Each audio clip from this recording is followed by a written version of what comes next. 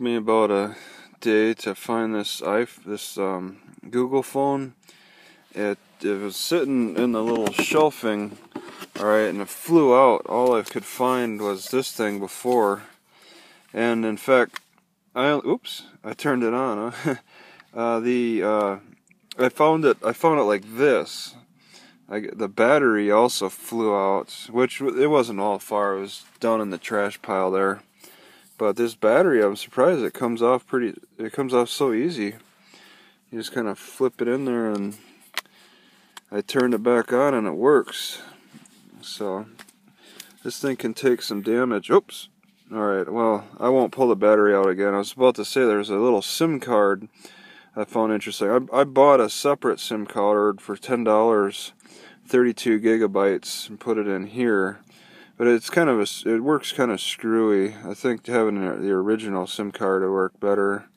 Just expanding on that, but you know the programming is in there and all that, I believe. But uh, yeah, it fell apart, but got it back together again. I was surprised the accident blew off the blew off the back like that. must have got hit pretty hard. I found it interesting uh, when uh, the cops arrived at the accident scene, and they were about to tell, they were about to get a hold of a toll company. I asked if I had a preference. I said yes, I do, and but I wasn't able to call. They said, well, well, maybe we could look into it. And then he changed his mind. He's like, well, I'm not able to. We'll just we we, we should probably go with the um, the non-preference. I was like, no, I have a preference.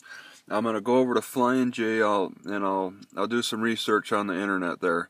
And he's and that's when he said something interesting to me. He said, "Well, it, it between the accident and Flying J, he said the guy that I got in an accident with might might uh, be in the area and might try attacking me. Okay, he was he was like trying to scare me." and give me this warning too, because maybe it's happened in the past. Maybe he was trying to scare me into hurrying up and making a decision, but I retorted that I was actually scared in those first few minutes when I came in interact when I interacted with the guy I the black guy that I got in an accident with. I thought maybe he could pull a gun on me or something, you know, just just to silence the witness. But uh, you know, in those those first few minutes, those were the scariest for me uh, but uh, when the guy decided to run, you know, I, I told the cop, you know, he decided to run at this point. I don't think he's going to be attacking me. So I retorted back to him. But that was an interesting, uh, um, like, uh, thing he brought up. Because, like, maybe this type of stuff happens has happened in the past. So here's another thought. I bet that cop was thrilled to deal with two cars, both from uh, different states outside of Idaho. Alright, so Avery Johnson is a famous basketball coach. If I watched basketball, I would have known that.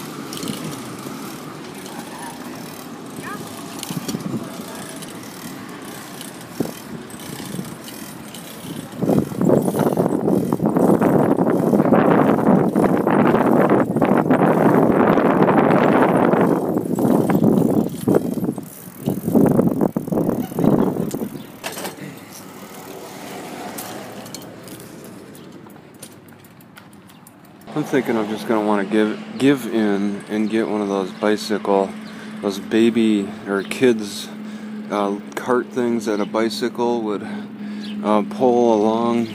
Those are more widely available than um, more of a storage thing. I just I hate giving the impression that I'm carrying around a kid, but I really would like to get something now that my car is really broken down. Some guy at the community meal said that there's uh, some kind of band deal at the front of the Capitol, and here it is. Spectacular. Oh, I gotta get around this stuff first.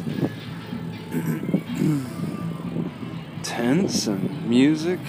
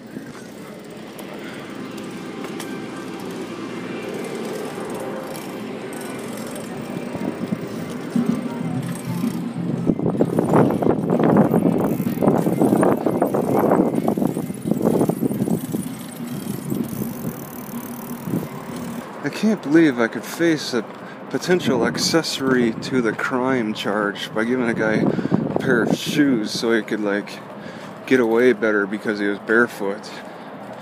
Man, I gotta pull in so much money in the next few weeks to be able to get my car running and build up my my pretty much non-savings because all the money I got is is going into repairing my car. If even that could be repaired, and if it can't, then the money's got to go till preparing to be um, homeless without a car, getting a tent and some storage crates.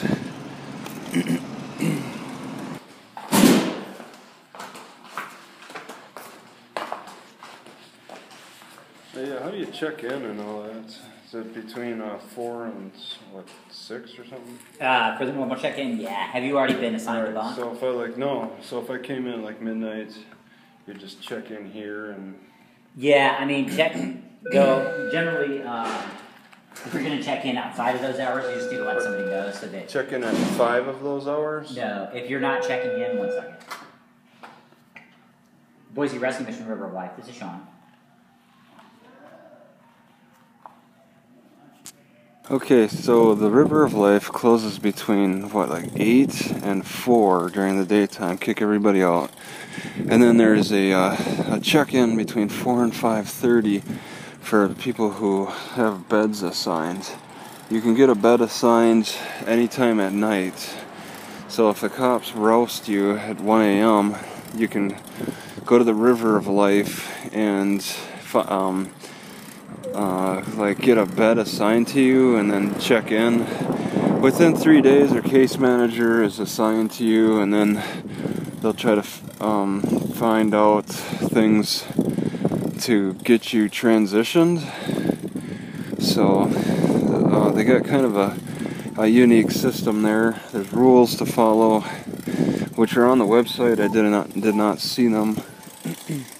I'll have to take another look. Also, there are four case managers there.